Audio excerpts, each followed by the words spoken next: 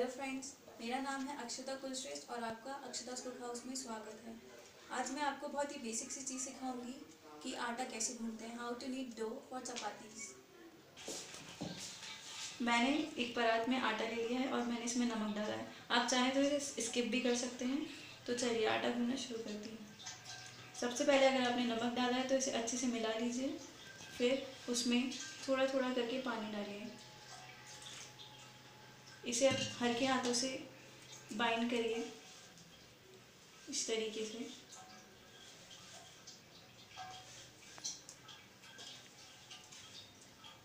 कोशिश करिए सारा आटा एक ही जगह इकट्ठा होता जाए जब आप आटा घूमें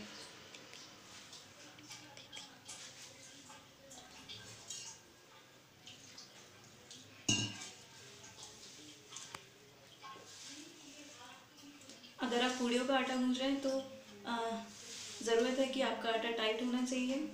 गूंदने के बाद, अगर आप रोटी के लिए गूंज रहे हैं तो ना तो ज़्यादा गीला, ना तो ज़्यादा टाइट एकदम सॉफ्ट होना चाहिए।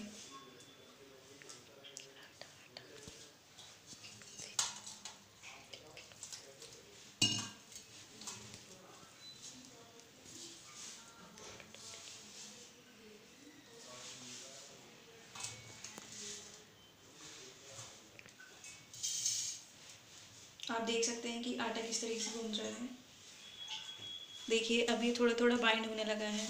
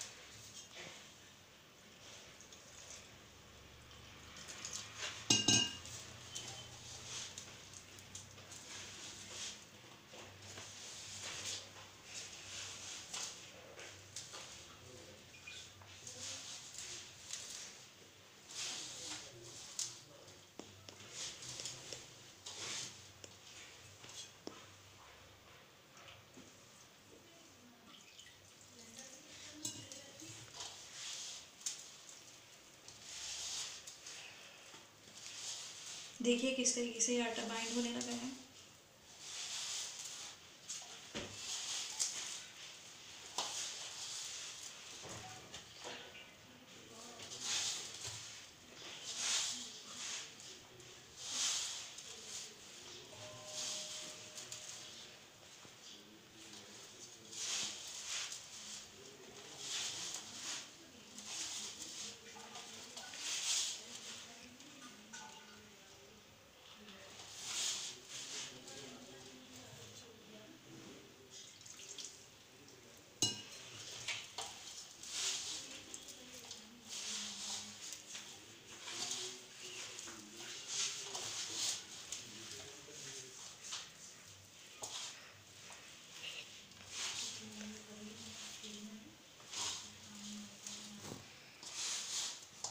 देखिए, अब धीरे धीरे ये सारा आटा बाइंड होने लगा है।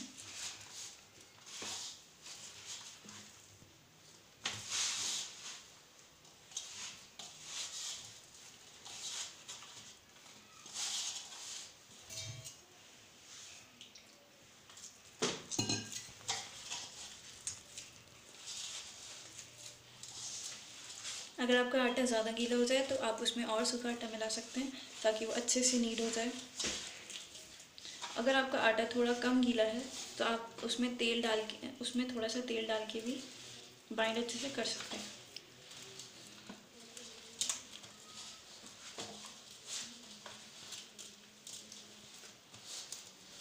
देखिए, हमारा आटा लगभग नीड हो चुका है।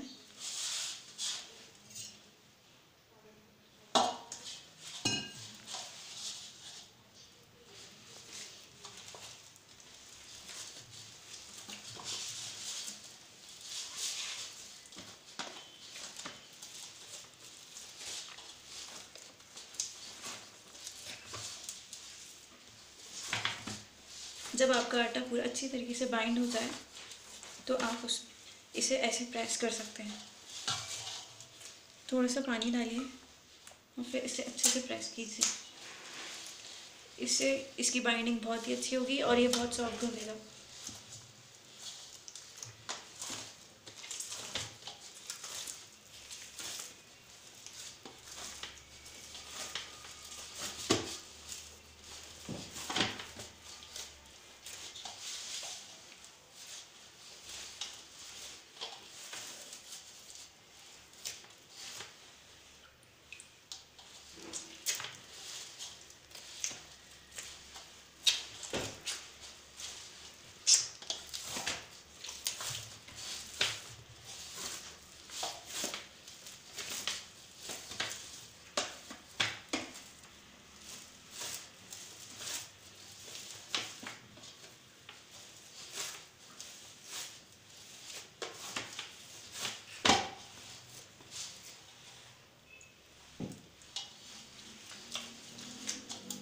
मान लीजिए अगर गलती से आपका आटा टाइट हो जाए तो आप उसमें थोड़ा थोड़ा पानी डाल के उसे इस तरीके से प्रेस करिए तो वो सॉफ्ट होता जाएगा।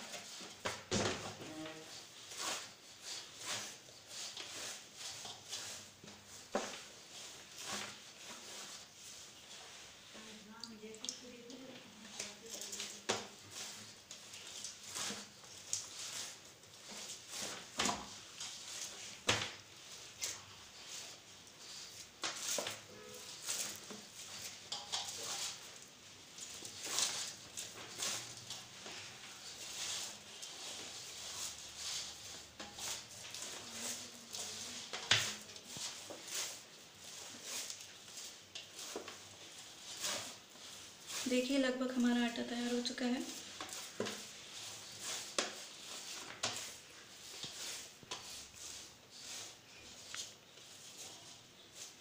ये देखिए हमारा आटा गुन चुका है। तो आप देख सकते हैं आटा कितनी आसानी से गुन चुका है। आ, अगर आपको हमारा वीडियो पसंद आएगा अगर आपको हमारा वीडियो पसंद आए तो प्लीज़ इसे लाइक शेयर और सब्सक्राइब ज़रूर कीजिए।